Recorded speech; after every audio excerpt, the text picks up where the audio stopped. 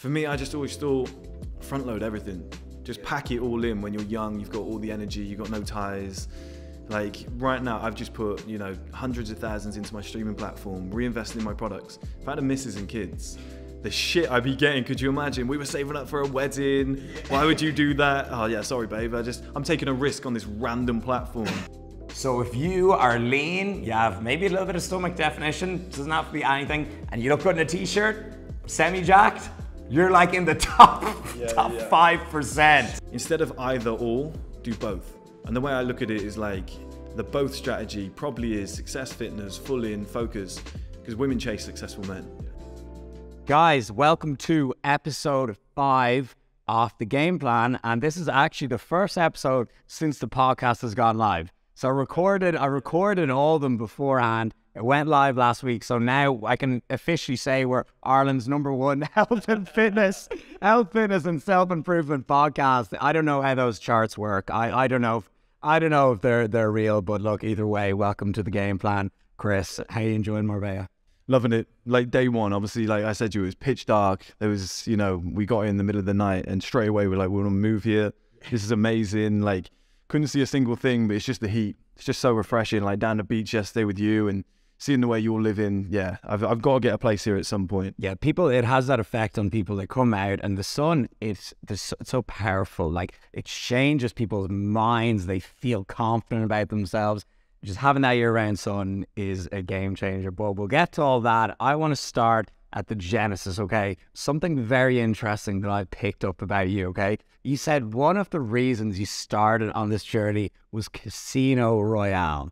Okay, tell me Yeah, 100%. uh, why you started um, kind of turning into this first man, becoming the man you are, and why it started with Casino Royale. Yeah, so I was always a fan of Bond, but it was quite cliche. And I was probably 14 years old. I think my sister had just gone to uni, or she was at that age where she was going out with friends. She didn't want to hang out with mum and dad. And they were like, we'll have a cinema night. So we all went to the cinema. And I remember it really well because I was sat like at the back row, right in the middle, and you've got the full view of the screen. And, you know, you've got James Bond coming out of the water looking jacked, which I don't think, I think Bonds have been in shape, but they've never been jacked. No, he's They don't look like that. shape out of Yeah, yeah. Bonds for sure. I love his physique. Yeah, he looked great. And then he's got the beautiful women, you know, and they were the, the Mediterranean one. I don't know who else was in it. Eva Green, she was looking good. They were in, I, I think it said Monte- Montenegro, but they weren't actually there. They were in the Czech Republic and they figured something out. You got the beautiful casino. You've got, do you know what I mean? Everything was there. It was just the beaches, the weather, the guys in shape, the beautiful women. I remember watching it and just thinking, that's what I want my life to be. You know, the Aston Martin and stuff like that. The fact he was a lot tougher. Like he took a few whacks and whatever. And it was almost like the epitome of masculinity. And I was like, I want, even at 14, I was like, I want my life to be like that. And I see the way the world's going today, the way it's like leaning into woke culture a little bit more. And I think there's going to be so many young guys that are like 14 that won't get that experience. And who's to say if I didn't watch that movie at that influential age, because my dad left, like my mum and dad split up and dad left within a year of that. So it's like if I didn't have that masculine influence, would I have done what I've done today? Would I be who I am today? Yeah, and that's fading away. We aren't getting it anymore. You know, you've got like Oceans is now an all-female remake. like The Hangover became Bridesmaids. Then you have oh, wow, what's some other ones? Ghostbusters. Yeah, because oh, I, Terminator's been ruined. So you're just like, there's a lot of kids growing up with that, those masculine role models. They're even looking at doing a Jane Bond instead of James Bond. And you're like, they're going to lose what I had. And that for me was like, I don't know if it's the ultimate, because people say Fight Club and whatever, but it's the ultimate modern day man. You know, the way in the world now that we travel, we get in shape, we want to look good. We want to date like beautiful women and stuff like that, drive nice cars, nice villas, because he had like that whole life yeah, like the, whi- the whiskey, and like, yeah, do you know what I mean? Like playing cards, having some skills. Like he was even a good driver. That's like an across the board thing that we all want to have in the modern world as a man. And it might have been the first kind of version of that, if that makes sense. He is, he's like a renaissance man. Yes. First time you saw that and you're like, that's how my, the vision of what my life, uh, that's how I want my life to go. And Yeah. tell me when you saw this movie, okay, and now, you know, tell the people what you do and how you started this journey. So how did you go? What made that switch? Was it a, a heartbreak? And was it a break? was it quitting your job? Tell us how you made this transition to start on the road uh, of your amazing lifestyle that you have now? So in the early days, I was just going out, getting drunk, and like, believe it or not, I've obviously I haven't got the hair now, but I used to look a lot like Gaz from Geordie Shore. and I leant into it. You know, it's like at 18, you lean into it, and you get your hair cut quite similar. You start moving in a certain way. You know, they used to all talk like that and like throw really expressive. So I really got into that and was. I just thought to myself, I don't know what I want to do for a living, but I like pulling women. I like going out, I like getting drunk. I'm not going to be on reality TV. And I was like, I watched Hitch. Remember the film Hitch with Will Smith? And I was like, why can't I just kind of teach men how to pick up women? It seemed like a good idea back then, but in hindsight, you look at it and you're like, well, I was only picking up women because I was an 18 year old lad, and you're out, you're drunk, she's drunk. It's not, it's not skill. It's more just like you're both pissed up. Yes. So people didn't really sign up. Do you know what I mean? Like people aren't going to sign up because they're like this this little 18 year old. What does he really know? You're not even really in shape. I tried personal training before that, unqualified. I just started my own shit. I was like local people. I just do what I can. Plus, you know, the real hitch. This is what I called it, the real hitch.com or something like that. And then when I realized this isn't going to pick up, I was like, but the thing is, I like all of it. I like the gym. I like the picking up of the women. I like the date doctoring thing. I was like, I like the lifestyle, obviously, and then Casino Royale's influence. And there was a few channels. I think Sean Russell did something called Memprovement. He was like a big blog back then, and there was a few similar blogs. And I was I, I messaged Sean Russell and I said to him like I'm a massive fan, been reading all your blogs, watching a lot of your videos. I, I don't think he was into videos yet, but he was doing blogs, and I was like, I love your stuff. Like I want to do it myself, which is messages that I get today, which is so cool. That's nice. Yeah, and he was he actually replied a few weeks later and was like, "Good luck with all, man. Like, thanks for following me and everything," and like really like gave me some tips, and it got me started. So I started, I started really like thinking about it. Do you know what I mean? It was like on my mind. I was like, I can do this myself. Go in a relationship, kind of put everything to the to the wayside as you do when you're in a relationship. It was the world's biggest. Uh, to be fair, I wasn't actually that much of a simp. Like I had natural alpha al- alpha tendencies, where I might say to her something like, "You can't get away with that." you know, don't speak to me like that. You can't get away with it, you know. And then you put your foot down. You're like, yeah, you're beautiful, but it means fuck all to me if you're going to be. Can I swear? Can I swear? Oh, yeah, Okay, yeah, good. Yeah, yeah, yeah. I was like, it means fuck all to me if you're going to be rude. Like it's it's just silly. So I had those tendencies, but we, I, I think I got to a point where I was like, I don't want to be together anymore. We're going to break it off. Okay, she was upset. A couple weeks later, I was like, I want you back. I'm missing the feeling because I was like that 18 year old. No, actually, I was like a 21 year old sim. so I didn't really understand the game. She hit me. She's she's got the experience. She hit me with the like, I'm happier than ever. Shit's amazing. Me and my friends are spending more time together. she she was like, oh, I kind of got a new guy, and I didn't really know that it within two weeks. Oh and it, he was famous. He was like a MotoGP rider. yeah, yeah. and he's rich as fuck, and I was broke. Like I think I was unemployed at that point. And you got this guy, he's a MotoGP rider, rich as fuck, and I was just like, oh, he's dicking down my girl, and like, I want her back, and she's just turned me down, and it just ignited something inside of me to begin with, where I was like, I need to improve. But then, like, I got this weird thing. I got this weird thing which is called telogen effluvium, and I had a lot of stress going on at the mo- at that time as well. And then telogen effluvium hit. So this is really strange, but like my hair fell out like that, straight down the middle and then outwards. So there was a Harry Potter spell. Yeah, quite literally. Yeah, yeah. I wish I could get it back the same way. Do you know what I mean? Just a one little one flip. Yeah, looking like some Fabio motherfucker with it to the shoulders. So um, I, they said to me, telogen effluvium is temporary. So I went to the gym. One of the women that I trained, she like looked at me and was like, kind of like eyeing it up. She was like, "You got a hole in your hair." I was like, "Please don't," because I yeah, I've seen it too. I was like, "I feel like shit. This is it's like playing on my mind." And uh, I searched it, telogen effluvium, found out what it was. Like long strands of hair would come out and they'd have a giant white bulb on the bottom. And I was like, this is super weird. Like, found what it was, telogen effluvium. Oh, it's temporary. It'll grow back when the stress goes. That didn't happen, did it? Stress? That didn't oh, happen. Oh. Do you know what I mean? Yeah. So the stress continued and it turned into chronic telogen effluvium. And then I never got it back.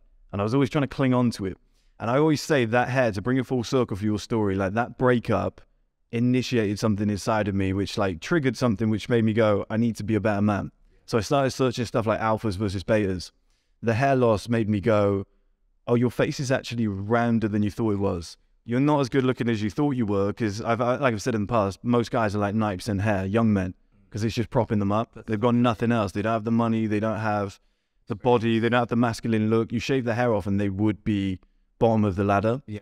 And- 80s. Yeah, yeah. So like the amount of I've always said like a lot of women don't have to improve because they're naturally just given like beauty. And if you get a guy who's like 18 years old, six foot five, super jacked, really handsome guy, maybe he comes from a wealthy family, by 30, he's probably going to be overweight. Like Charles, uh, not everybody, but he's probably going to be lazy, overweight. Like it's very rare. So those those shitty things happening to me, like the hair loss and the breakup and whatever, triggered something inside of me to just become this self improvement guy.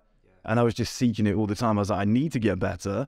Otherwise, I'm going to be fucking single, lonely. I'm going to have no money for like the rest of my life. And I just went balls deep. That's I, and I figured I just found fucking everything. Like orthotropics, people talk about it now. Like I was, I found that like eight, nine years ago when nobody knew about it. Mike Mew in the early days. He was getting like 2,000 views on his videos. Wait, So- what are which orthotropic? You know orthotropics. You know Mewing. That's what it's called. Yeah, yeah, yeah. Doing- Okay. Yeah. You know what? I, I'm very sure there's a few things. First of all, we spent the last couple of days with each other. Yeah, yeah. And they, I'm only learning all this. Yeah, yeah. I'm very excited for this. There's a few things to unpack there. I want to go back to mewing, but first of all, I want to say on the breakup topic, I went through a really bad breakup that, you know, I was in a six relationship, really ruined me as well. You did. I think breakups can be, for a man, it can really force you to level up. So, what advice would you give to a young lad who, or anyone who's going through a bad breakup? Well, it's almost like this. I'll start with a little story. There's a story that I heard a few years ago, and it's like there's two toads. I know it's weird, and I'll bring it back full circle. I can remember this th- these things. There's two toads. They're like hopping down in the bottom in the mud, like of these tracks and whatnot, and they're minding their own business. And then one day they look up, and there's a toad at the top, and he's hopping around, and they're like, "What are you doing up there? Why don't you just come down and join us all?" And uh, he's like, "It's better up here. Like it's amazing. You guys should come up." And they're like, "No, there's no point." one day a truck comes the other way or like a tractor, big wheels and whatever, and the toads go, fuck, we got to get out of here. We better go up onto the top. And uh, then the other toad's up there and he just like looks one day and he's just like, oh, they're, they're hopping next to me. What happened? And they're like, oh, a truck came. Right. And it's such a stupid, like simple thing, but it's like you don't make changes, you don't move in life until you have to. You're forced to. Do you know what I mean? It's just like, You need something. it's just so simple, but it's like you're gonna go through your life just coasting. If nothing, like I hope nothing bad ever happens to anybody, but it's not good for you. Like it's good to you, but it's not good for you. So like, oh yeah, dad left. My best mate died in a car accident at 18. I went through a breakup. I lost my hair. Because of that, you become better. Do you know what I mean? You dig deep and you go, I've, I'm, I'm, you're forced to change. You know, like forced adaptation. That's how it felt. Yeah. You know, like if you were a skinny, you get like Zyzz, Yes. skinny guy got in mad shape because he was like, I'm fed up of being the skinny guy. It's very rare that you've got like a great kind of, you've got all the great genetics and everything going on in the early days and you just run with that and you just keep building. When you do, that's when you get like a Cristiano Ronaldo, somebody with crazy talent and then they put the work in. That's when you get like that one outlier out of billions of people. But most people will never do it. So the advice I would give to young people is that it's probably the best thing that's going to happen to you.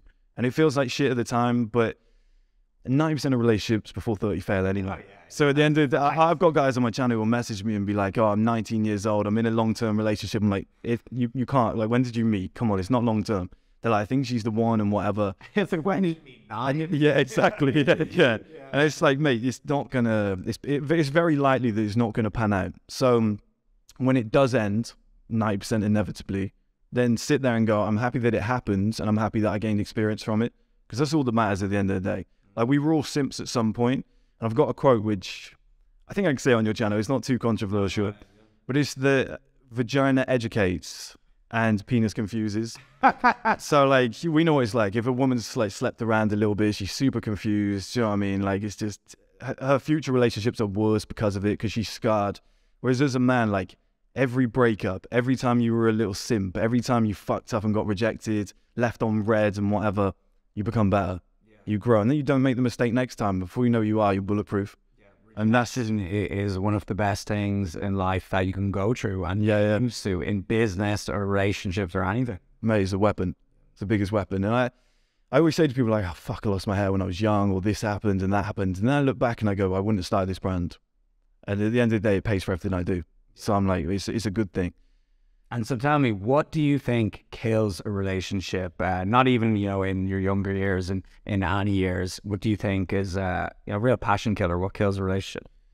The, the the really good one that I heard before, I read it in a book. Uh, it was about transactional relationship transactional analysis. Some reason I did a course on this. I don't know why. Of course you. And the guy said that people don't deliver what they promise in courtship.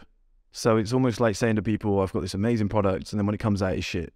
And people do this. They meet each other. They look beautiful. You know, they're spending all their time together. And when they do spend time together, because they're only seeing each other once a week, you get a haircut before you see that person. You know, you look your best. You've had a good night's sleep. You get your skincare done. You put on your best clothes. You you clean the house. You take the bins out. You do all the shitty tasks that you would normally have to do together if you live together. So everything's a fairy tale. And you're like, this is going to be amazing. Every time you see each other, you have sex four or five times in a night. Do you know what I mean? And then you always see each other on weekends. You don't see each other in the week. So then when you actually move in and you're living that life together and you walk through the house and she's sat on the shitter and she stinks, do you know what I mean? And you're like, okay, and then, oh, babe, we got to take the bins out and we got to walk the dog. Oh, the fucking dog just shat everywhere. You're, you're doing all the terrible things together. And then on a Sunday night, you're sat there like, babe, I've got to get all my lunch ready. I'm tired. Like, oh, I don't know. I just haven't got time for this. I'm stressed. Like, I fucking hate work. You're moaning to her. She becomes your therapist. And advice that I've always given to guys is like, yeah, date along the way. And as you rise up the ranks and you become better, you'll get way more female attention. So that's where you'll gain your experience. But it's probably the best idea to just go without women until you're in a position to be able to handle it. Because what I've had this in relationships before. I'm on the come up and I'm sat there and I'm like, babe, it'd be great when we make it. Oh, I'm so tired. Like, I'm so stressed with work. And all you're talking about is you. And all you're talking about is it'll be all right when. It'll be okay when. And like, one day I'm going to provide for you and all this stuff. And she's almost like, I just want, you know, you. I just want the real you. I just want to have fun.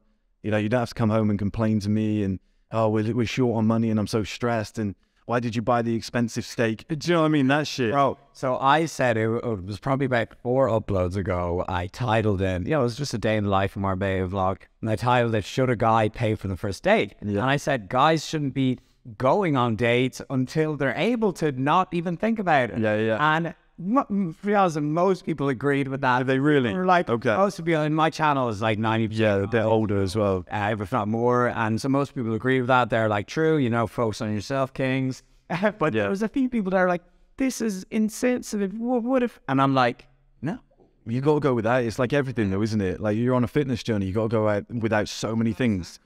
You're gonna have to stay in on the weekend. You can't do the alcohol thing. Like, well, you what you you can't. You can have anything you want, but you can't have everything at once. You can have any one thing. That's the key. The one thing bit. When they say anything, it's like any one thing, but you can't really balance the two.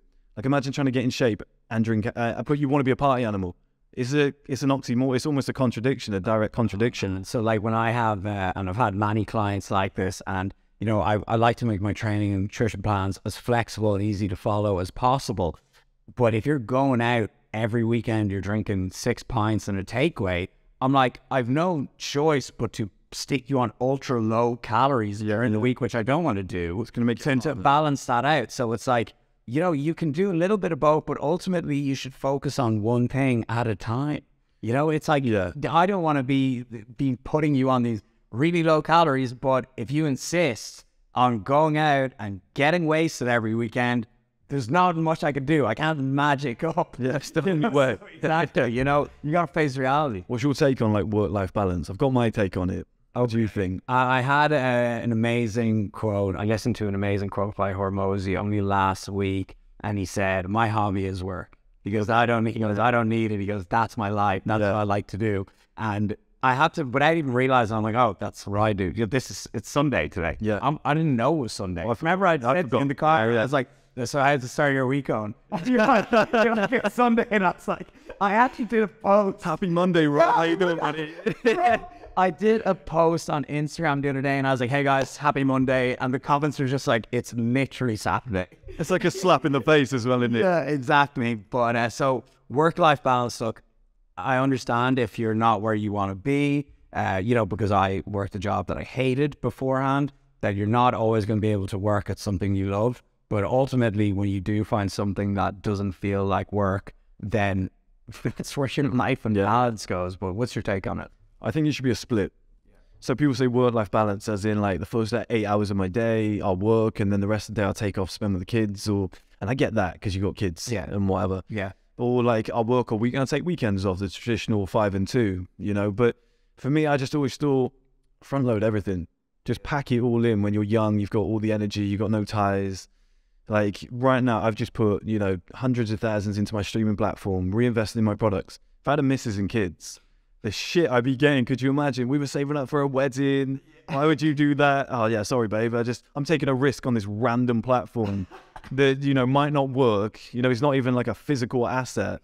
Shit, like the shit I'd be getting in my ear every single night, and understandably, I'm not against it. Do you know what I mean? Oh, we've got kids, we've got to pay for them. I'd be like, oh yeah, good point, actually. And I might be less of a risk taker. Yeah. So it's- in terms of balance, I think front load everything, get everything done early, take all your risks. You can be selfish. I've always said selfish men succeed. Yeah. And you don't have to do it forever. You can just be selfish for the first, probably something like 60. You know, it's hard because you've got to give you the mindset stuff first and whatever. But let's say it's a rough estimate, something like 18 to 35. Be as selfish as hell. The rest of your life you could give back to charity. You can like spend time with the kids, you know, look after the missus, fly your family around the world. You can, you know, retire your mum and dads and all that stuff. You can do all that. But in the early days, you almost need to be a bit of a cunt. Yeah, and I, I think you need to go through a selfish period. You can't pour from an empty cup. Yes. So you know you need to give to yourself before you're even able to give back. Mm-hmm. You know, and so in your twenties, do you think a guy should be single for the majority of time or in a relationship? What's your take on that? What do you think makes you more productive?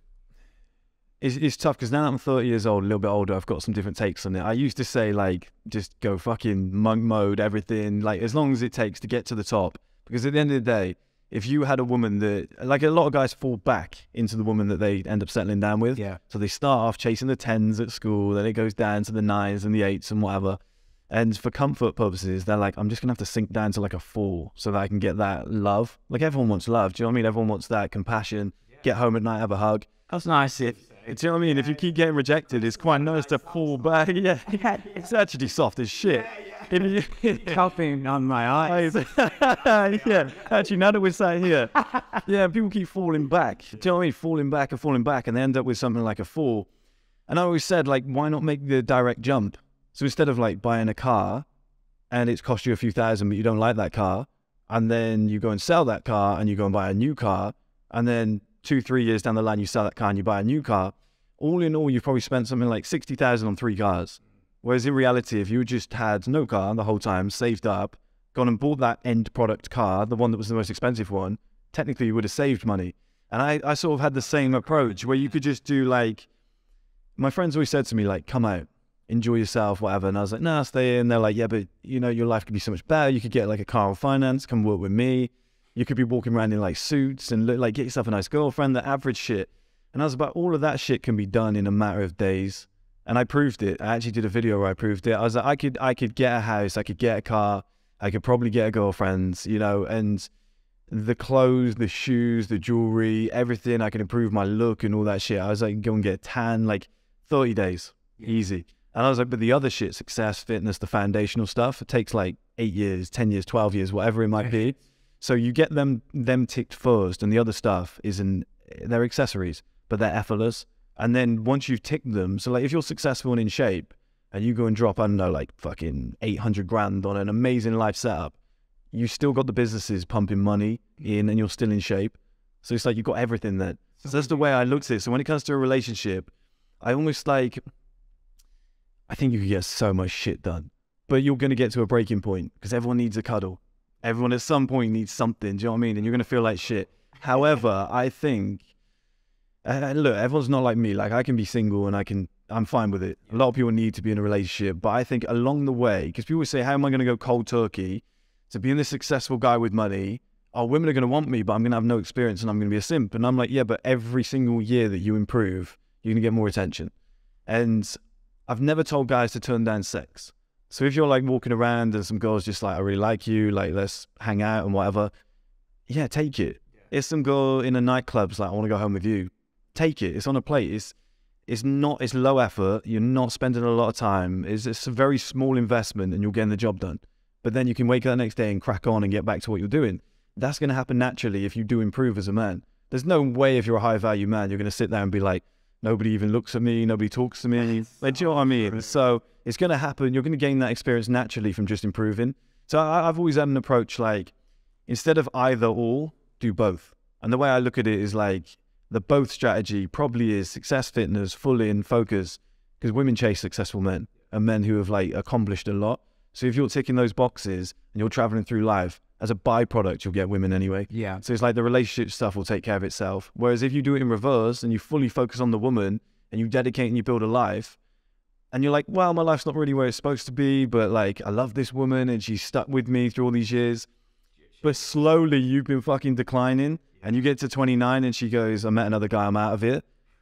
She can go and replace you in five minutes. Oh yeah, girls I'm gonna so struggle. more options. You're going to struggle if you haven't stayed in shape and you haven't been on top of your game, yeah, and you, you haven't. Like I said to you the other day, I'm I'm doing kind of monk mode while this stream platform's being built, but I'm still messaging, keeping girls like keeping things hot. Do you know what I mean? Because if you go completely cold turkey, you got to restart. You got to, and then that makes you thirsty because you don't have any options and whatever. So I just think 100% focus on yourself, make sure you're okay, and then if anything goes wrong, you're still okay. Like when I went through that breakup, if I had had 30 girls messaging me like, oh, I want to be with you, like get rid of your missus and whatever, what a softening blow that would have been. But the fact I was like unemployed, didn't have anybody else lined up, that's when it really hurts because you're on your own. And that makes you thirstier because you're like, oh, I need her back. She's the only woman who's ever properly loved me. She's gorgeous. I'm never going to get anybody better. That's when it fucks with your brain. So that's why I think as a man, take care of your own shit first, be selfish, focus on yourself, and the rest of it is a byproduct of just being a decent man. So in terms of life setup, heard you mention Yeah. there something that I'm I'm very pretty proud of my life setup, just my day to day life. How would you like define life setup and how would you what would be the first things you would do to go about setting yourself up with a good life? So I'll answer it two ways. So the first part, I'll give people an example of what life setup is. So it's life setup and framing is like two different things. So with life setup, the perfect example I always use is you become rich as fuck. You got like 50 million in the bank. You go and you go and buy like a Victorian manor house in the country, 18 bedrooms, 14 bathrooms, where you can only sleep in one bedroom and you can only fucking shit in one bathroom, right? So it's almost like a waste of space. You would want to turn those bedrooms into other things that are more usable. Okay, that's step one. Number two, you're out in the middle of nowhere. The house is big and beautiful and expensive, but it's cold. You got to keep heating it. You have a party and people have got to make massive arrangements. You've got to have taxis on site. Like, it's hassle. For a tenth of that price, you could probably get like a penthouse in the middle of a city and your life would be a million times better. If people could, people have got access to you, you're close to clubs and stuff like that. Like, you've got a gym that's local, you'd have to build one in your house. And uh, the house is modern. You've got like all the amenities where you can just press certain buttons and everything works within the click of a button rather than, you know, it, uh, these manor houses, you need to go and chop some fucking firewood and stuff like that. So it's, uh, and the other, the other one, like people who work two hours away. I've always said this, like if, if your commute to work is like an hour or two, you fucked up because you're losing two hours in the morning, which could be spent in the gym or getting an extra hour's sleep.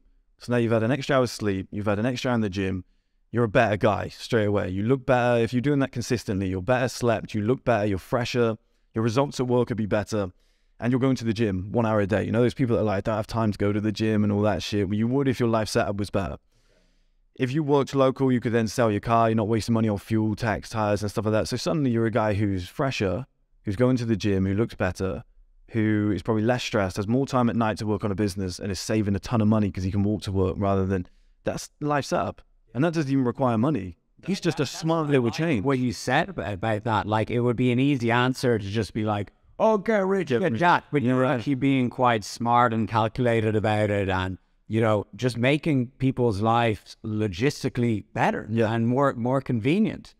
And, and then the money comes in. So you could, you could, you, you could, yeah, you could, that's framing. Yeah, So uh, Andrew Tate had a good, t- uh, good take on this. He was like, if you're a nerd getting out of a Ferrari, it's like tech, tech millionaire. Whereas if you're like some jacked guy, shaved head, beards, I just describe myself for some reason. People would be like, anyway, jacked. So fuck in the comments, what a prick. Yeah, yeah, yeah. His hair's not even real. Yeah. It's, uh, yeah, like you're getting out of a car and people be like, Albanian fucking mob boss, guy sells drugs. Like, and this, I'm not saying that's the fucking lifestyle to chase, but it's probably respected a lot more. You know, this guy's kind of jacked, he's tatted and stuff like that. You know what I mean? It's almost framing. You're like giving a perception of yourself to the world. Like, you can be a rich simp. It doesn't make you like a high level guy. And then you can like almost frame yourself to, I call it a hyper masculine character. That's, it's hard to explain, but you look at Tate, he went through that journey. You look at Conor McGregor, he might, he might be the best ever example. Do you remember the early interviews with McGregor? He's spotty. He's like some skinny teen, which this is, I'm not knocking him because we're all like it. Do you know what I mean? And he's there, he's like some spotty kid. And he's like, I am and he's getting the voice cracks, and he's there. He's talking about his record. He's like, "I'm six and two or something like that." Oh. Was he one bad? Yeah, yeah, yeah. I've been picking yours up and I'm gonna wait. No, he's like, I'm six and two or something, and he wasn't even proud of his own records. Fast forward five years, he's got fucking gorilla on his chest. The guy's massive. He's knocking people out. He's in the middle of Brazil talking shit to everybody. Do you know what I mean? Like he just created a character. Probably the The tattoo. imagination Yeah. ever, like in terms of life. Like Yeah. it's a true rags to riches story. Mhm. Like uh, I love McGregor. I, I think a legend. And have you ever seen the documentary? Yes. Proper. It's amazing. Like a lot of times, uh, you know, celebrities or athletes will come out with a documentary and it's, it's shit. But it, it's like, this is proper good. You see that Nokia 3310 yeah, yeah. at the start, like, it, it's crazy. The shitty while they're in a Peugeot. He's like, we have to push it sometimes. It's That's a, it's a proper good funny, man. But you look at his like life setup, excluding all the money. His life setup was like, I'm not going to go out with the boys. I'm going to stay in. I'm going to go like move close to the gym. You know, get. I'm just gonna. I'm just gonna rise my way up through the ranks. Like he did everything he could to like make sure his training, his life setup around that was on point. Like that's a form of life setup because it made him a better athlete. And then once he knew like I'm the bollocks, I'm making good money here. I'm gonna frame myself. And like Chael Sonnen did the same thing. So I mean, he was a shit. He was just a quiet guy winning fights, and then suddenly he becomes the best shit talker in the history. Created like a heel thing. He's the funniest guy ever. He's, he's, he's the original. Ric Flair was first, but he was the original. Like he's smart with it. That's how Ric Flair was the original. Do you watch, watch the combat sports? Yeah, love it. I That's the only sport I properly follow. Yeah, yeah. I love it, mate. Absolutely. I love the whole, like, the, char- the character building behind Yeah, yeah. and the story Genius. uh, and everything. It's like what Dana White is created with the UFC in particular is it's a reality show. It's, and it's the best one ever. It's crazy. But I'll tell you a really good real world example that actually checks out of framing, and the, the- like your audience will really understand this. Is like as a bold guy, I got told before if you lose your hair, there's hormonal imbalances. It could be bro science, but you know it does check out, and it is a good example. If you lose your hair and you're a, you're a skinny dude and you you just look kind of pathetic, it says you had too much estrogen. Do you know what I mean? You lost your hair because you had a hormonal imbalance that way. Low test, high estrogen, because obviously the two in, entwine, like as one goes down, one goes up, etc. If you're a bold guy who's super jacked, it says to the world, I had so much testosterone that my hair fell out. Same, same thing. Yeah, yeah, same thing, framed a completely different way. And you'll get a certain level of respect from men, women, etc. Whereas the other way around, some skinny little bold guy, you know, maybe a weak voice and stuff, and people are just like, that guy's a pussy. I could take him. You know? And so we we've spoken about you've mentioned the gym a lot, which I love. That's me then. That's the right bit of Do you go to the gym? Yeah, sometimes. You do? I'm only about to go hit my second step of the day after this podcast. Funny being serious, by the way. But so, how much of a difference uh, do you think uh, having a good physique makes to your overall life? One, in getting girls, and two, in just general life? Because there's actually, you know, you see those TikTok videos, and they're like, guys, and we don't care about your muscles. I then it's The Rock, and he's like, Yeah. yeah, yeah. so, what would you say to say to those people that that think that? How important do you think go? Which like you get in shape and then you go, okay, like th- there's a cap. There's a cap. Like some guys, you you don't need to look like fucking Chris Bumstead or The Rock or someone like that. Do you know what I mean? But if you get up to at least like a fucking seven out of ten in terms of shape, you're gonna get a lot of female attention. Uh, the guys who go, oh, women are worried about bodies, and like she comes out and says, oh, it, it doesn't bother me too much. I kind of like a dad bod. I, I tell you now, like obviously I can't tell you because you've lived it. I'm telling the audience here, get in shape, see what happens. Like you know, like you walk down the street, everyone's looking. Like we were at the beach yesterday with you, doing all the footage, taking pictures.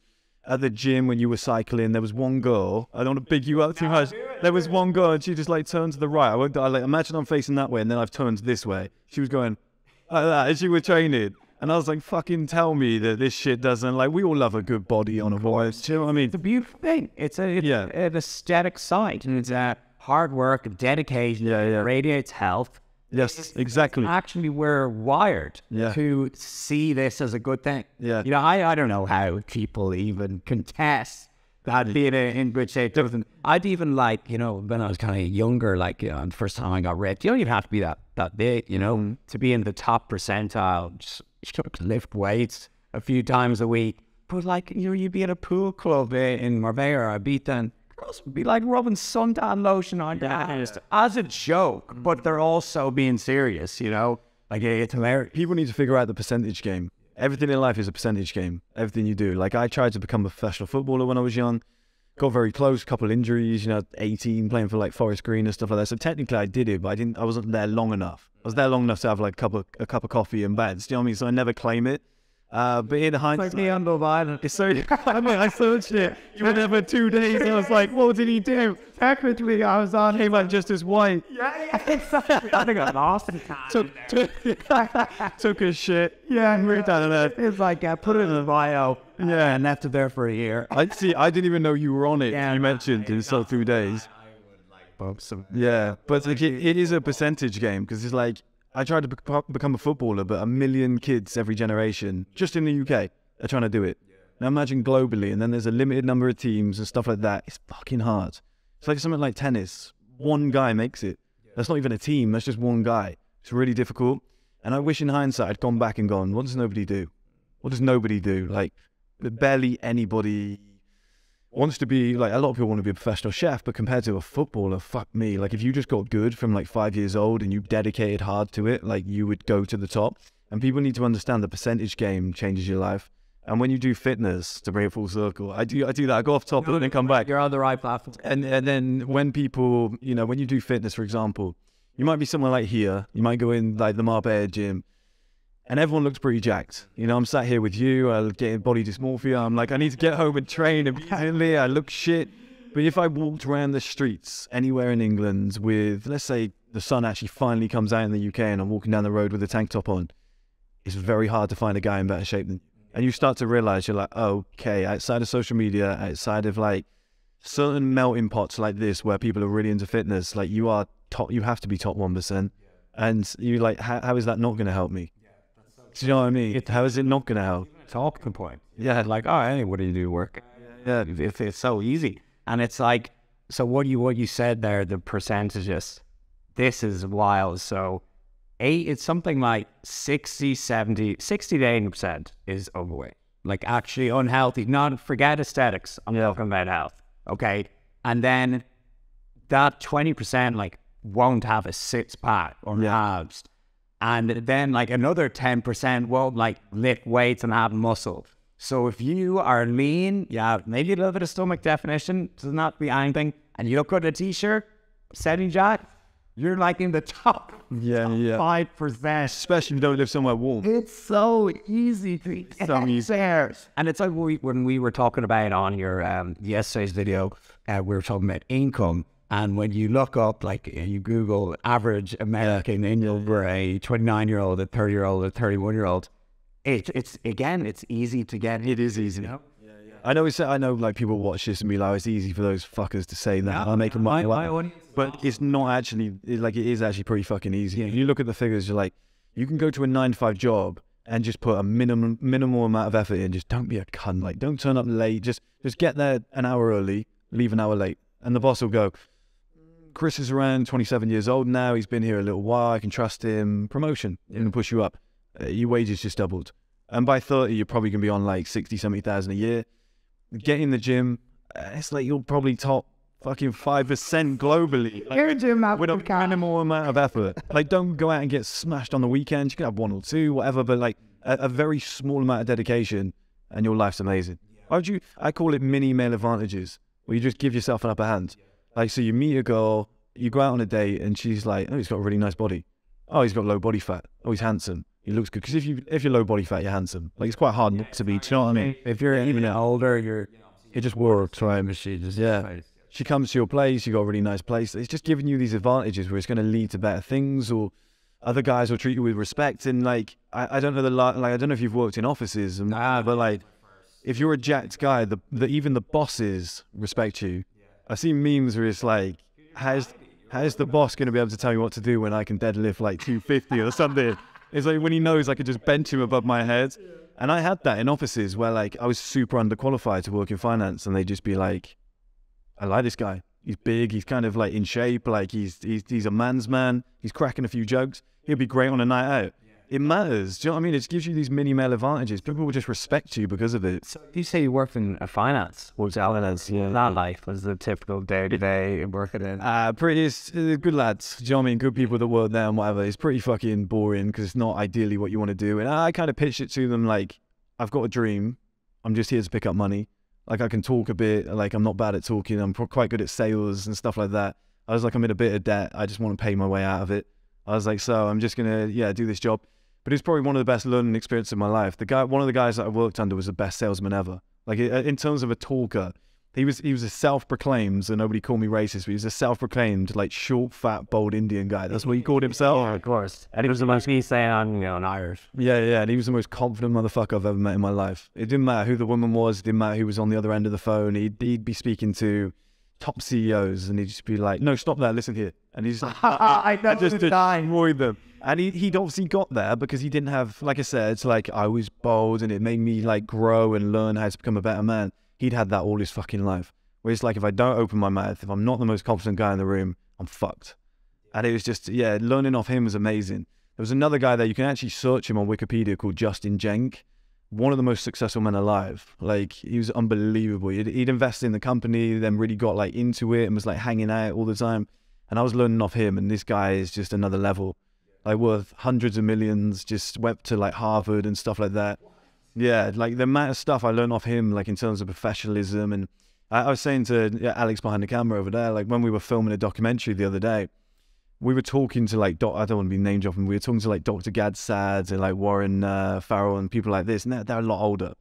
And as a 30 year old man, it, you might be excused to just be like, all right, mate, crack on. Do you know what I mean? Like, so, but where you've worked in finance and you've had to deal with like high level clients and you've seen these top level guys operating, you change who you are. It's like, yeah, we're sat here in like fucking tank tops today, but when you want to switch it on, you can put on a suit, you know how to meet and greet a client. Do you know what I mean? You know how to take care of people. And it gave me so many skills that I could then transfer professionalism that I could then transfer. So yeah, it's fine to make a YouTube channel. Do you know what I mean? You can talk shit and everybody can do it. But I noticed there was like a separation line where I'd had that experience in like a decent, solid, foundational industry with top level guys. And you just learn how to like, they'll say to you, Chris, email that client back. You haven't emailed for two days. You got, you got to keep touching base. And you're like, oh, fuck yeah, I probably should. Or like, I'm going to meet them. They're like, you don't even have a tie. These little like old school masculinity things are important. It's massive. And so, how did you end up quitting? Like, how did you go it? Did you go in? Quit. Well, I, I wanted. Uh, I, I, got a pay rise off them, which kept me going for a little while. And then I was like, I need way more money than this. To like, London's expensive. Do you know what I mean? I had a missus and a dog, and I. It's just like this is how I know about this stuff. Pound and pain. It's outrageous. And it's like Ours was like Zara probably need. ours was only like one four, but it was just like a one bedroom I, apartment. it's like I'm going to go buy a villa in Mark. Mate, that's a good choice, Alex. Yeah. Yeah. So like we were spending like one four a month, and I was like, I just need more money because I can't. It's it's. I've always said to people, you need about eight to ten grand a month minimum to live in London. I got a ton of shit for it, and then I said to people, but you've misconstrued what I've said. I've not said. I, I said live. I should have said you know, thrive. Try. Yeah, because what people, I said to people, what you're doing is just surviving. That's what I was doing. You can survive on a lot less, but to live and thrive, you need a little bit more. And I went and got another job. I was getting like 60k per year. I always, I always say per month now. It's hard to get in. do you know what I mean? Do you know what I mean? So I always got to like hold myself back. But yeah, 60k per uh, per year, and it was like a hedge fund software company. I shouldn't have got that job either. I know nothing about it. I did the marketing. I was like, how do you even market this shit? Tried to figure it out for like a year and a half, and then just saved up the money.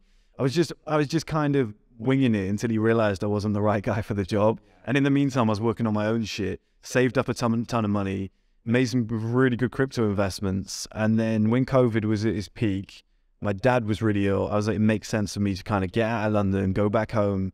Just something was about to happen. Do you know what I mean? I could feel it. And I was like, I've got enough money saved to go full time. And that's when I like really kicked things off. And crypto just timed perfectly. It just gave me like a big wallop of cash. And I sat there, I was like, even if I fuck up, I've got three, four years of money to have a go at this. And you need one or the other, and then you have both. So in order to become successful, I think you need time or money. So if you've got a big pool of cash from your dad or something, like he's, I don't know, mate, he might pass away or he gives you a big loan, or a small loan of a million dollars. Yes, shit. If you've got that, you can make anything happen. If you don't have money, like most people, like myself, it was it was time. I needed to buy time, and I'd saved up enough money to have in the bank to buy me, you know, if I lived terribly, to buy me like three years of time. And then with crypto and whatever, I was like, okay, now I've got time to invest in this net. Because you'd be surprised if you just went, if you just go 24 7 on one thing, like how far it grows. And then as that business grew, the money was coming in. And it was like, it's profitable now. So now I'm full time. So I've got the time and I'm, I've got the money. And when you got both, it's just perfect concoction to end up where we are now. Do you know what I mean? So It's off. And that's actually crazy because I look, look at you and your life setup, and even uh, you speak on camera, and I'm like, oh, th- you've been doing it for years, but you mentioned COVID, lockdown. It's like two years ago. Yeah, so you're like deep to the game. It's crazy. Oh, it's a weird one because I started like nine years ago, ten years ago. I actually started as a FIFA channel. A lot of people don't know. I was making, uh, I was making kind of like, uh, there's something called pro clubs. I won't go into details, but you could. A lot of few people will know, and you can, you can, you, you obviously don't. And you can, I'm sounding like a nerd there. and you can make like your own, fuck, ah, it's so bad. Make your own character sort of thing. Do you know what I mean? You can change your face. No, so I was really good at making those characters look like the real life counterparts. So I was like, here's how to make Ronaldinho, here's how to make Zidane and whatever. And I was getting a few fucking thousand views and subscribers. I think I got up to like 3,000 subs and whatever. you had up. Yeah, and I was just like, I want to do something with this channel. I was a blog. I started my blog. That's how I started in the early days. It was called MSI College, and I was running with that. We stood for Men's Self Improvement College. I had a mentor. We like ran with it and pushed it forward. And I was like, I need to adapt this YouTube channel. I could do some videos, and I was doing it from behind the scenes, so nobody could see my face. Um, I was almost like those reaction motherfuckers that now I hate. I was like behind the scenes making like body language analysis videos. I was coming up with like a unique concept where you just analyze James Bond's Casino Royale. I actually love those videos. Do you, do you watch Charisma on Command? Yeah, that guy. Yeah, he's great. I've got down his name, but I watch all those videos. like a lot of these videos now where they're on about like why Tommy Shelby's so confident Yeah. and stuff like that. I think like I, it's hard to say, but I think it came from me because I did it nine years ago and those videos got deleted. So the James Bond one had a million views. Uh, I had two. One had a million, one had nine hundred thousand. And I did somebody else. I can't remember. I did another character and it had like eight hundred thousand views or something. And then it, well, the whole channel got fucking wiped out in terms of like just the content. It's like along with my blog. It was like a falling out with my old mentor and everything. It was a shit show, and now they set me back. But I've been doing this like so long, and I had to start it all again. So yeah, I've been in been doing this for like probably it's like when I started it was probably like nine years ago. Uh, but I had a break when I went and did the finance thing, and I was like, I don't know if I'll pick it back up. Like I've got a decent job now. I'm doing well. I've got a missus living in London, and I, I call it the stick or twist moment. Like when everything's going well, you've got you've got points on the board. You're starting to see results it's easy to be like, you know, when you're young, I'm super ambitious, I want to be a billionaire. But as soon as you get paid 50, 60K per year, you know, you got a pretty little thing gumming down on you, what, whatever, you know, every single night, you're starting to think to yourself, like, this life's all right. Like, we're spending weekends together, got the little dog, the white picket fence, you know what I mean? It's, it's, it's easy. So sometimes you have to go, I'm going to risk all of that and roll the dice again. And luckily I did. She was, she was. She's a lovely woman. Do you know what I mean? But like, I'm, I'm so glad I cashed in because I wouldn't be where I am now. So yeah, I I went full time on YouTube. I properly picked it back up about two and a half years ago. Quit the like quit the job and then just went for it. And two and a half years went from probably eight thousand subs to one hundred fifty five thousand. Just it's, it's the time thing. Like I said, once I had a little pool of cash to buy me time, I was able to make it happen. But that's why most guys struggle. They don't have the, the cash isn't the hardest to get because you can save. The time is so fucking hard to get. That's the hardest part. Once you can find time, you're good. Yeah, I remember uh, when I was kind of on my come up as well. I was working on nine to five, and then I would drive an hour and a half home. It would be half six. You know, I'd get some dinner into me. It's about half seven. I'd go to the gym, which I hate training in the evening. Yeah, I'm the- yeah, half seven. We're coming up to you know. By the time you drive there, take your pre workout, you shower, you get home. It's like half nine. And then half nine until two in the morning, I'm working on fitness business, and then I'm doing four hours sleep, and then doing it all again. It's that's the hardest part is getting the time. It's so key you said that, where you said working on it till 2 a.m. And because if you didn't, you were going to be in that boat forever. So, like, as much, as busy as you are, as crazy as your schedule is, I had it in London, getting up at 5 a.m., going to work, you know, you're busy as fuck, you're doing everything, you're going to the gym. Then you get home at night, you're knackered, you've got to do all your chores, you've got to wash up, you've got to cook for the next day. Then your missus wants to fuck, and you're like, I've got no energy. You get to bed at like one in the morning. Yeah, yeah, yeah. A little like limp push, do you know what I mean? and you get you get to like you get four hours of sleep, you wake up and you go, but I'm kind of having to go to bed at one in the morning to get some work done, or I'm having to work weekends because if I don't, this is me forever. Where, how the fuck am I going to get out of this situation if I don't sacrifice? The only thing you can really sacrifice is sleep. It's the only real thing you can sacrifice, which sucks. Yeah, The most important thing. especially when you're trying to get in shape. You can sacrifice food to an extent, you know, you can kind of scale it back. I walked to work an hour and a half there, an hour and a half back, blisters, and I got super skinny because I wasn't eating enough. Like you're burning thousands of calories from that walk. When it's pissing with rain, you feel like shit. That was only saving me like 136 pound a month, but that gets you out. And that's where the so investments come from. Margin. Yeah, yeah. And you're just saving. Like I remember there was a rich kid. Like you know the guy. Actually, I can't. I did say his name, didn't I? But fuck it, I'm friends with him anyway. But you mama. Uh, but his son said to me, where he's grown up with millions. Do you know what I mean? His son said to me in the office one day, and I love him. He's a great, he's a good friend of mine. But he was like, "So you value your time, an hour and a half each way, so three, basically three hours per day. He's like, you value that at 136 pound a month." And I was like, I get what you're saying. And I was like, in a bit like now, in the position that I'm in now, if I waste that much time just walking, I'm like, I fucking lost a lot of money. But back then, I was like, mate, you don't get it. You don't get it. I was like, because I'm not earning in those hours anyway. I was like, right now, I'm so in the mud and at the bottom, which you never had to do. I was like 136 quid and was everything because I was able to put that into something. And that's all you need to do at the start is just like claw and scratch for that first lump sum. Because lump sums make you rich. Lump sums get you out of shit. That's why like you get a monthly paycheck, monthly paycheck. Never really do a lot with it. But if somebody said, "Here's your," if you weren't some fuckface who goes and spends all his wages in one weekend, you know what I mean? If they said, "Here's thirty grand in one go," you can make waves with that thirty grand. But you can't do a lot with. Oh, I've got four hundred pound left over every single month. So those lump sums, which comes from like, you go and get a car at eighteen, and you go and spend ten grand because you want to look good, you know, or you get married and you spend thirty grand, or you know, you go and get a mortgage before you were supposed to. It's those lump sums that change your life, and people go and spend them to keep up with the Joneses, and they fuck you up. So that 136 pounds, you save in that, you chip away at it. If you can build up like a five or ten, and that's what I was able to put like put that into crypto into my full supplement batch. Like it's they're game changers. When you've got a big chunky lump sum, you can use it.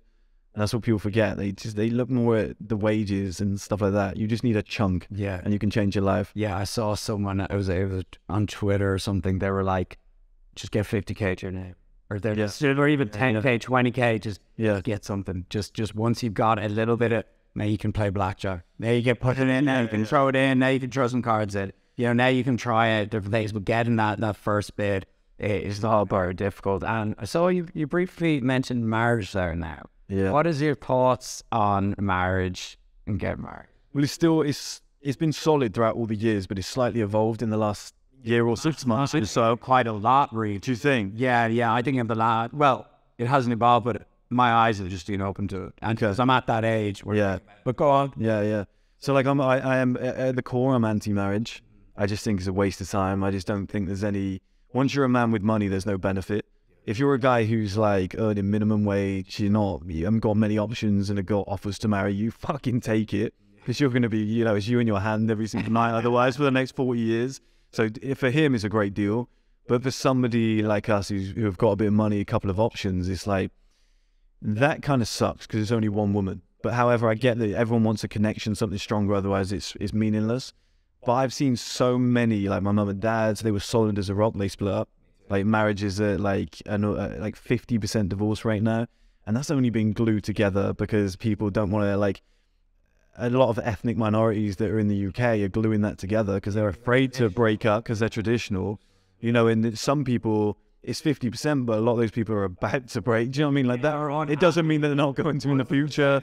And that figures exactly, and that figures driving up. And a lot of people are in open relationships now where they're like, just I'm with this guy, but I fuck someone else, and you know, and he's doing the same. And like, there's, there's a lot of people like that now. And you go, so risking everything, all the work I've put in, risking my entire net worth, everything, you know, all the risks that I've taken. I'm gonna let this pretty woman come into my life. I walk away with 50% of it, or probably more, probably 60% of it in six years' time because you just won't feeling it anymore. Fuck that. That's the biggest gamble ever. However, I've really dug into like Middle Eastern cultures and everything in the last few years, and marriage was almost a trade off for virginity. That's what you were paying for.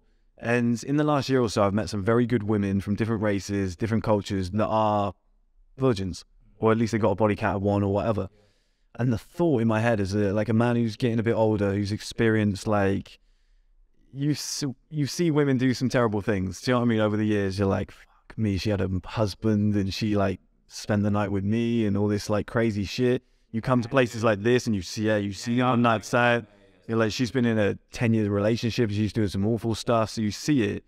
And, you know, being like on a date with a woman who is like a 21 year old virgin from the Middle East or something and her head's not fucked yet and whatever. And you're like, I can potentially, she's got something to bargain with. Yeah. You know, beauty's not enough because it's going to fade. It's whereas your wealth's hopefully going to stay relatively high forever. You know, hopefully it's like a linear projection. Projection as a man, as a woman, it's very much like that. There's a big drop off. So you're you're exchanging kind of that trust, loyalty, virginity. and that part of it. I was like, I would maybe cash it in to know that I'm the only man who's ever slept with you, and she's going to be loyal as fuck to me because I'm the only guy that she's ever had those emotions for. She's not got that confusing, confused dick brain, Yeah. so to speak. Where you know, I, I said the other day, the term "fucked her brains out" kind of makes sense, right? Do you know what I mean? Like after a few, like your brains are kind of fucked out. We are thinking straight. Yeah, yeah. There's like what is it called? Like oxy. There's something, yeah. The love drug. Yeah, he's on Yeah. it. Yeah. But so my my pushback on the marriage thing, I agree. I think it's often, well, statistically, factually, and Yeah. a failure. Yeah. Uh, getting the state involved, Yeah. not a good idea. Only thing I I can see myself getting married one day. Yeah. Only thing uh, I think is a huge benefit is for children, is for having kids and Yeah. bringing them into a Loctite environment. Nowadays, there's so much options to just leave relationship Yeah. and go. And the reason, There's no risk. the reason, Yeah. of course, is hard to initiate an annulment is to keep people from jumping on Instagram and and jumping in, jumping shit, person, jumping shit. So on old school, I think I think Jordan Peterson had a good, a similar point that that's why it's difficult to split up because it's kind of like forcing you to, hey guys, stick it out and make you work. And, and I think there is a good traditional sense to it as well. But I th- I agree with pretty much everything you said. Mm-hmm. I think the main benefit is if you want to have kids, which I definitely do. Is that something yet? Yeah, hundred percent in the future. Yeah, like I definitely want to have kids, start a family with the right woman and stuff like that. But then, here's my argument: is I've seen people who are madly in love, madly in love, and she's like, "I'd never leave him if we broke up. I would never take the money off you and stuff like that." You know, when it goes wrong, the claws come out. People get vicious. You know, a woman that loved you a couple years ago would never have hurt you. She's going. Her lawyer's telling her like, take more, go for more. Like, imagine the emotional damage you've gone through, the fact that he's taken your best years and it gets ugly.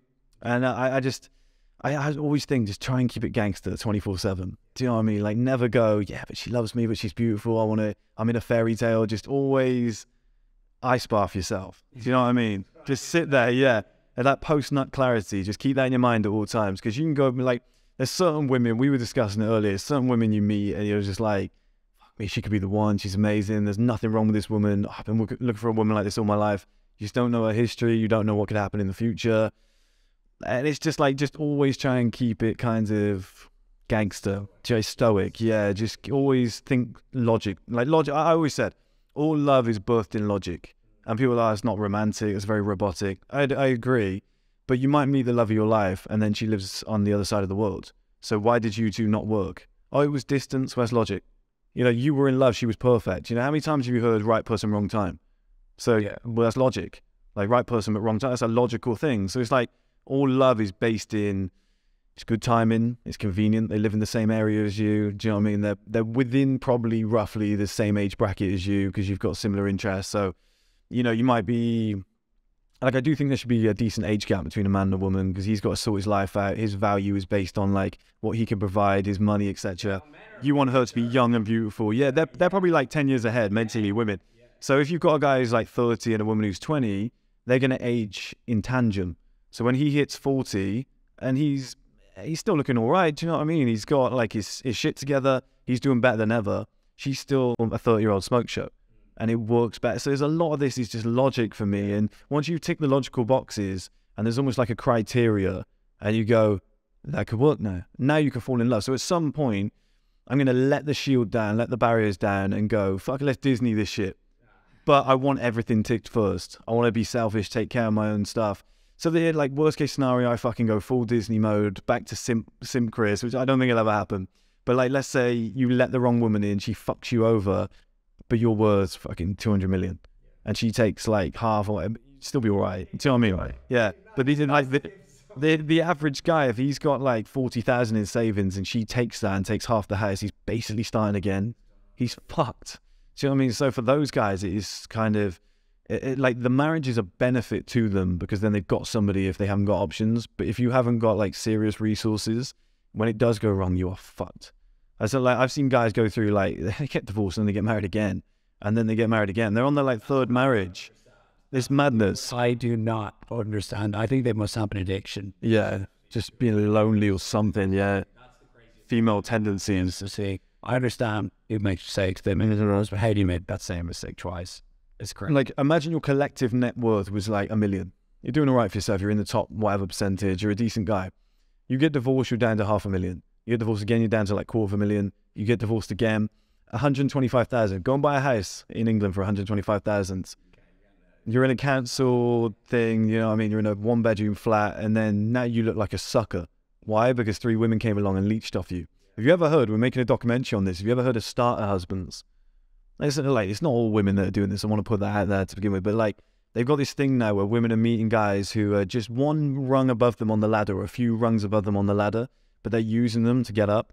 They're using their social circle. They're using their money, and they've got every intention to divorce that motherfucker in like three years. So yeah, yeah, but they're calling them now like. But these girls are being super open about it. They're like, I want to start a husband.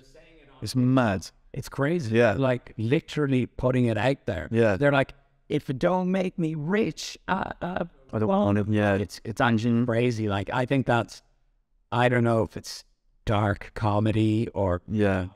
Some of them are some of them are really serious. Yeah, yeah. I think TikTok is, is really brought out. So we've covered a lot of topics today.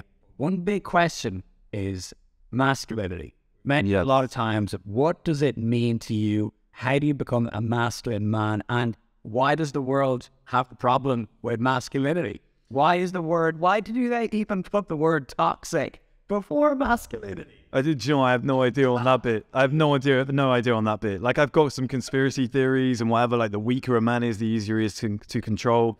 You know, guys like us who are like, "Fuck you, I'm gonna get on and do whatever I want to do." If the whole world was like that, it would probably stop working the way it's supposed to.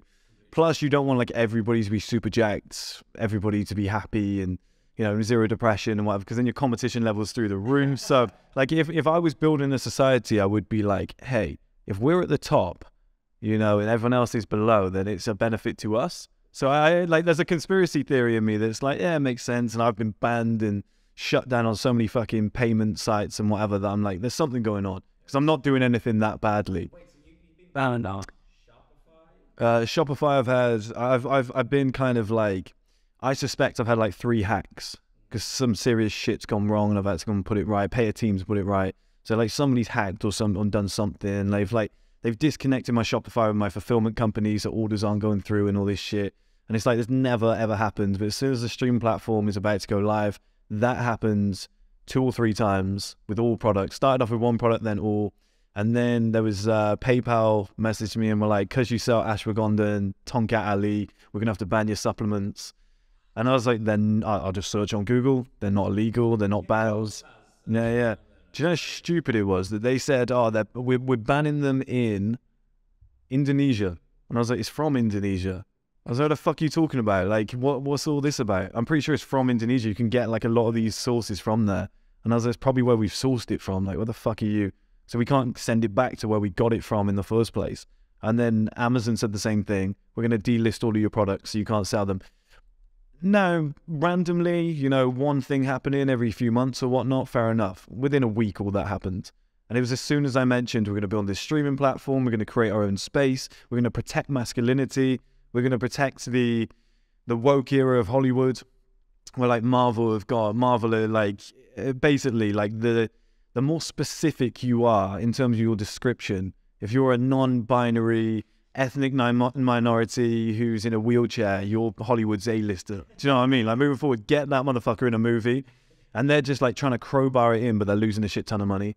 And you know, to to go for something like Jane Bond over James Bond, eh, like number one, it's not going to work. It's not going to make money. The whole concept is flawed. We like it because he's sleeping around. If she's sleeping around, it's not the same thing. They they don't get like how our brains work. And yeah, I want to kind of like I look at that and I'm like, it's dying off. We're getting there's like no masculine role models. Like masculinity is being suppressed. Um, like I said, there's no money in it, but they're still pushing forward with it, and you're like, that makes absolutely no sense. You know, like, yeah. So you go, well, there must be a conspiracy behind it, because it's like, why would you, why would you pitch something that you're losing a ton of money on? Could it be ESG, which is like, uh, I used to do this before. It was like um, environmental, social governance, and you get like an ESG score where your your company's clean, the HR's good, you know, you have uh, good diversity across the workforce and all this, and they're more worried about that now than anything else because I think you get like government payouts for that.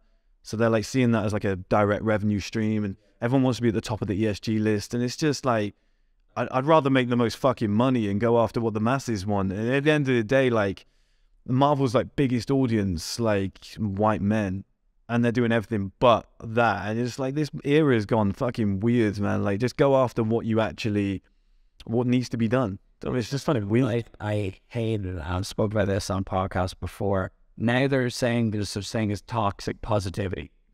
now I'm I'm action serious. They're like there was like a list of words. They're like sing this and say instead of say this. I'm like, what's wrong with saying like, hey, yo, I'm having a great fucking day. yeah, yeah. Then there's people complain about that. They're like, you meant to say it's not always good to do. It's like, ah, really, what? Why do you think it is, mate? Like you, you could put toxic in front of anything. You can you can leverage anything. Do you know what I mean? You had a toxic wake up. Yeah. Do you know what I mean? Like, oh, why, why are you waking up like that? Cause like, quiet, calm down. I really what the fuck. That maybe they're getting uh, masculinity confused with being obnoxious, Mm-hmm. uh, being rude, but these are non-masculine things. That's actually, you know, to, like we, Yeah, yeah, yeah, yeah. to be rude to people. Like, um, so for me, masculinity is my kind of the, what we use as an example, James Bond. You're moderate to everyone. You're patient. You're never in a rush. You're not antsy. You're cool. You know, you're assertive. You uh, are dominant. You control the situation. You know, what What are some things that you would associate masculine? I would associate it with. I think the thing with masculinity is when shit goes wrong, you reach for the man. Do you know what I mean? Like if if it kicks off, you're like, "Where's my husband? Where's my yeah, yeah, yeah, yeah, yeah the women with the boats and everything, yeah." And like when shit goes wrong, when we need men, they step up, and it's like that's being taken away. And we had Warren Farrell on the podcast the other day, and he was like, he goes to his books, like he goes to prison sometimes to like help the men in there. And they've said, look, I've read your book, and one thing that he says is once a man has like a purpose or an identity, and the key term that he used was you're needed. As a man, you are needed. The world's taken that away from us. And these guys in prison were like, as soon as I saw that in your book that I am needed, he was like, I didn't really give a shit about ever getting out. He was like, as soon as I read that, I was like, I've got, to do whatever I can to get out. He was like, my daughter needs me, my family needs me, I need to be that provider. And it's that purpose. We're losing that purpose. And that's what masculinity is for me. Like being the guy who can step up, who can provide, who can defend for the family, you know. And one, one thing one thing that I see about masculinity that a lot of people don't is that they see it as like shitting on women now. That is the that's kind of the toxic masculinity. I can see that. I don't want to be that guy and Anything I would Yeah. like that and be rude. yeah. Like everyone's due a call out. Like you can call men out, you can call women out, but unnecessarily getting the dumbest women ever on your podcast. I won't mention some people, but some people do that. To sit there and talk shit about them and then go, you know, name three continents and they don't know the answer. It's like, mate, it's just what's the point? Go and bring somebody intelligent on and do something else. You know, that shit kind of annoys me. Um, but like everybody's due a call out. Like you can still call out people. Do you know what I mean? I've, mate, I forgot my point. I just got to dive back in.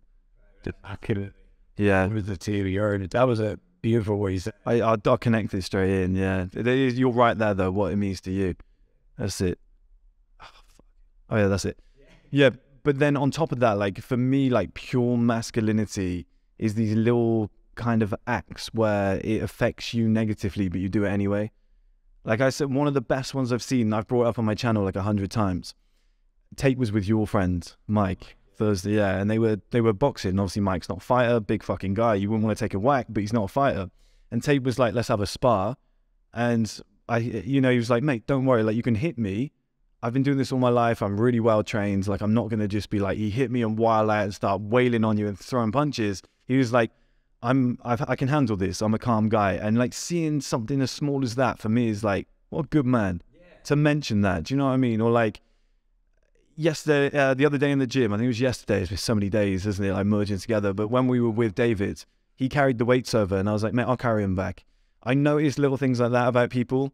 You know, they're like you let's say you put on a project let's say you get a woman on this podcast obviously you're in a relationship not gonna do it but let's say theoretically somebody gets a woman on their podcast she turns up at the house you start trying it on and whatever well she's even she's keen she wants to do it and you're like yeah but at the end of the day it just feels morally wrong i really respect those guys they're like i've invited you here under the premise of this is a podcast this is a professional business thing and even if she wants it it's like it's a little bit sneaky and what you're giving up is sex with a beautiful woman those guys I really respect because it's like it was there, it was on the table, and you made your life worse because it was morally the wrong thing to do.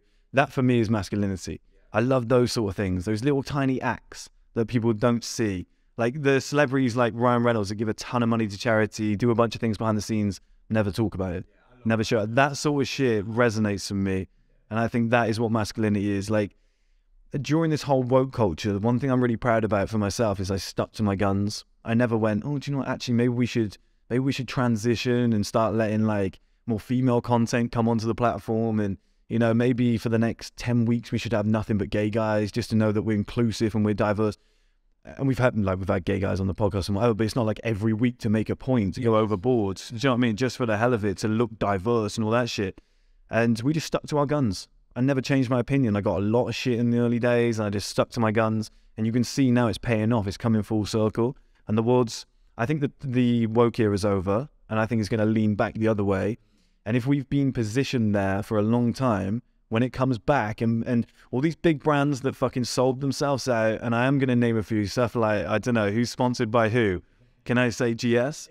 Okay, so like, yeah, like, like a Gymshark. What built Gymshark? What built Marvel? Men. Young men. Yeah, yeah. Ah. And what they do now, we'll just sell leggings. We'll just like make Captain Marvel the main fucking person moving forward. You know, everything's going to be an all-female cast that you see in Hollywood. All these motherfuckers, the world's going to change again, and then they're going to go, "Oh, we got to go back the other way." But if I've already been positioned, they're going to have no respect. Because that's what happens when you almost sell yourself out. You lose all respect from everybody. Do you know what I mean? Like if you saw somebody in a moment of, like we can all sit here now, and I can be like, "Rob, I'm a high-value man. I'm a if I was in a sticky situation and I start crumbling and crying and I'm like, oh, mate, it's really difficult, Rob, can you bail me out? Can you help? You'd be like, oh, under pressure, you're a little bit of a soppy cunt. And you'd see the best side of me in those moments. And I look at all these big brands in Hollywood and I'm like, you sold out. You went with the you went with the narrative of some 16 year old college girl who was online going, we need more representation. And you shit your pants and you sold out. I stayed true to my brand. And that for me is masculinity. And if a woman did the same thing and stayed true to her brand and said, Do you know what? I'm going to stick with women, even though there's not as much money in this industry, but I'm going to stick with it. And then long term, it pays off. Same thing. It's not just to do with like, oh, men versus women. Like, she did the same thing. Fair enough. If you if you're a fucking gay guy and you were at school, you were getting beaten up and you were rocking with it, and you're like, I don't give a fuck. One day, it's not going to matter. You got all the respect in the world from me. Do you know what I mean? Those people that are like, the world's against me, but I'm not going to fold. I'm going to fucking run with it it's those little things. I got a lot of that from my dad. My dad was treated everybody exactly the same. He could be the queen or somebody who's homeless, and he'd be like, "You're right, mate. Let's go for a pint. Let's go." Do you know what I mean? He just like, "Do you want a pizza?" He'd treat people with, with, with like respect and stuff. And then the like a billionaire would walk into the room and he'd be like, "All right, mate. Do you want a pint?" Like, "Oh, I've got pizza slices here. Do you want one?" Be no different with everybody. And he just had these core fundamentals that even if it negatively affected him, he did it anyway. And I was like, I I got, I respect that. I love that. I see that in men. I see certain things where they could they could have benefited and they went, but it wouldn't be the right thing to do. I really respect that because I think long term, a lot of people go, Do you know what, man? I noticed that, especially as you get older, you pick up on these things, you know? Yeah. That ties in very well to your streaming platform that we haven't yeah. spoken about once. Yeah, yeah. Uh, so tell us a little bit about that. So I I know the answer. Yeah. But how much is it costing you? Uh, can you tell us the name and what's the, the concept behind it? Yeah. And what stage it's currently at? It only cost like 25 quid, mate. It's been great. so it's, it's cost me two arms and two legs. Yeah. It's, yeah, mate, it's uh, all in total, I'd say. The actual platform itself so far, we're probably up to like 160 grand all in. You know, and that's not mentioning like reinvestment in products, so it makes it like ten times harder. It's not like the 150 on its own, like that's doable. It's like one 150, 160, sorry, like because now we're up to 160 with this trip and whatever. That's you know, um, but with all the other things going on, you got to pay for your life and whatever. It makes it ten times more difficult. So, yeah, it's been it's been tough. But the idea behind it is that we can almost restore masculinity, and if we can't do that, we can have a safe place for men. You know, because like I said, Hollywood, all female remakes, like some of the classics, man, like Oceans. You've got stuff like Terminator. You've got uh, you name it. They're making a Ghostbusters, and they're going, why don't we just do a female remake of it? Fine, I've got no problem with that. Just don't get rid of ours. You know, if you want Jane Bond and James Bond, I'm happy. Like, run both. I think R1 will get more money. I think R1 will be more successful. I probably wouldn't watch the Jane one, but it's like I'm never going to stop your yeah. ability to do it. But at the end of the day, it's like you. The problem with feminism, and Warren Farrell said this the other day, because he used to be a feminist. Then GQ, then he became all into masculinity, and GQ said it was quite ironic actually, because all this time ago they called him the Martin Luther of masculinity and they bigged him up. Now you'd be called a misogynist. And he said something about feminism. He was like, in the early days, I was a feminist because I was supporting female rights. He said, now it's got to the point where it's destructive, where it's like, we can't be equals. We've got to tear you down for us to exist. And that's what I don't like. And that's the problem with these female remakes of Hollywood and stuff like that. And it's like, we need to exist and you need to die. And then, then it's fair because it's like, it's our time in the sun now. The, the best example of this, uh, Nelson Mandela you know, oh, now we're in power, but we're not going to enslave the white people. He was like, now that uh, people were calling for it back then, like if you do some history, they were like, oh, it's our turn to fuck you over now. Nelson Mandela was like, no, we need to, you know, be the better individuals. We need to turn the other cheek, and like it's not the right thing to do to go. Oh, it's payback time. That's what. Do you know what I mean? That's that's that's masculinity right there. I love that. And uh, yeah, in Hollywood, they're just tearing it all down. And you look at every male character now; they get their ass kicked by the female character, and all the shows that we love, they get taken down, or some comedians, there's a few things that they shouldn't have said. I say shouldn't have said, but you know, it's like, yeah. right? And they get taken down and they get banned and all they, they get labeled a misogynist and all this stuff. So it's just like a safe place that we control. Eventually, we'll control all the servers, the payment gateways, and whatnot. The only way they could stop it is fucking killing myself. Do you know what I mean? But then I'll set something up, some kill switches in place, yeah, and it will just be like somebody else can take it over, and it like I, I don't know, like 10 people of my choosing would like then own percentage. It's like you can't kill it. It would never stop. And it's, I just want the, like, I want to preserve masculinity. I just want to preserve, like, 14 year old Chris watching Casino Royale. I want that for the next generation. I don't want them growing up watching that weak motherfucker in Modern Family, you know, that sort of guy who's a bit of a goof, you know, like Homer Simpson. Hamza spoke about this. He's like every character that you see now that's a man is kind of goofy he's the one that gets fucked over. Do you know what I mean? He's bad at everything. The wife, the wife has to bail him out, and she's the smart one. I don't like that because it's not always the case. Do you know what I mean? Like sometimes it's the other way. Sometimes, and yeah, I want to just protect all of that, and then there's a long term plan as well. Like we're looking at like live sports. I think the live sports industry's fucked. Yeah, yeah, like obviously to the people watching, I'm not delusional. That might be 10, 15 years away, whatever, but what a fun journey if you make it. But I look at sports, especially in the UK. If you're a football fan, golf fan, cricket fan, whatever it might be, you're a uh, martial arts fan, you want to watch some boxing, you're looking at like 150 pounds a month going out the door to watch all of that sport.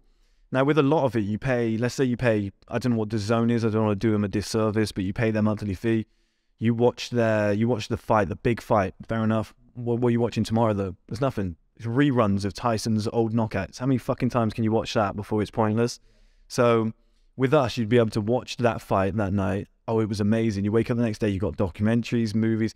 I've just always thought why there's so many great areas of masculinity in the men's industry. You with fitness, there's entrepreneurs out there, there's guys who are into fashion. There's all these amazing areas. Let's merge it. Let's create a central hub. Let's put it all in one place. So then anything masculine that happens, anything that takes place, you know where to go. Join. That's the way I look at it snip there. Done it a few times in front of the mirror. yeah, yeah. Question I ask everyone: the name of the podcast. I think I know. What is the game plan for the coming year? Yeah, you probably do know. Yeah, so it'll just be like all the all the. I've got one new product coming out. It's going to be a, a skin supplement. It's by far the best on the market. I know I'm going to say that, but it is. I've compared the two. The guy who's making it was even like, this is ten times better than anything I've seen. So we've got that coming out, massive restocks of all the other products. You know, you do it en mass, you can get bigger profit margins, keep the price the same, everyone's a winner. So that's like the backbone, and that's what's going on. Grow the YouTube channel, but my main focus now, I'm full time on the streaming platform. So creating content non-stop. The aim is to have, like, I looked at Apple recently and they had 50 or 60 shows. They probably got more now, but at the time they had 50 or 60 free shows. Of course, our production is not going to be at that level, but our audience don't want to watch everything that's on the Apple platform. There's some stuff that doesn't resonate with them. Whereas on our platform, everything that I produce, if I if I did 50, 60 shows with my audience in mind, technically it's better than Apple because it's content that they would watch. So I was like, well, that puts us really in the game. So at the end of the year, I want at least 50 or 60 shows. The, uh, and then there'll be smaller ones in between that, but like 50 or 60 big hitters. And then we can kind of look at ourselves and be like, we're, we're up there. We've got 50, 60 documentaries, you know, and then that will set us up for the following year. I know I'm going beyond your question there because it is just it's quite it'll be quite a boring year just creating that content non-stop. But the following year that really sets us up to do like series and movies and bigger budget documentaries and docu series and I want to do biopics like Prince Naseem Hamed. Like imagine a biopic on his life and like that'd be so fucking cool. Tommy Morrison. Like there's so many of these like boxers and fighters that you could do it on. Dana White, Vince McMahon, like, because he's getting out of the game. Imagine like Dana or Vince's story, like a biopic, somebody's playing them. Like, it's, we can, but you, as a masculine platform, you've got the opportunity to do all of that. Whereas Hollywood probably wouldn't make it because they'd be like, that doesn't really suit our current ESG profile. Whereas we can make all that stuff. So it's just gonna be a long year, just like every penny we make back in reinvestment, just kind of keep creating content, get better at it. You know, find a way to make these chip, these trips like cheaper. Because obviously the first one you overpay for everything because you want to make sure it works. So like we'll become very streamlined, get it all nailed, and then yeah, going to be in a. I, th- I think we'll be in a good position, and I, I'm not even worried about turning a profit. It's more building the business, the net worth, like making sure that that becomes something. Exactly. Yeah, just getting. My aim is like twenty thousand subs- subscribers on that platform because it's like twenty thousand times seven ninety nine. Do you know what I mean? Like that's we on like a four hundred forty thousand, something like that, just a little bit above. Like that's it's about 160,000 or something. Quick maths. Like, I don't know if I'm right. I'll get told in the comments for sure. But like 160k per month is crazy money. So like yeah, like we like YouTube. I love YouTube, but and I'll always be on YouTube. But if I did ad revenue, I'd make 36,000 per year.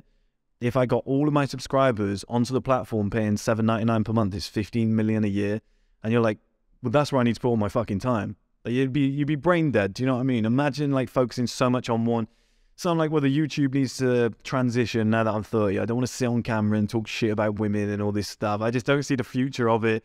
You know, you sit down a cup of tea and you're like, do you know the biggest issue with modern women? You're like, fuck me, right? I don't want this to be my day job. I don't want to have daughters in the future look back and be like, that's a problem.